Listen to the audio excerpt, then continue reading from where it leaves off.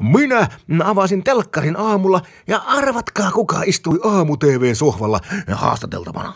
Itse paholainen, siis Piru, Pelse Puupi, vanha kehno, onhan hänellä monta nimeä. Minä ajattelin, että mitä hele, mitä ihmettä. No, asialle löytyy luonnollinen selitys. Paholainen oli tietysti telkkarissa mainostamassa uutta kirjaansa. Hmm. Rahun Vantaalta.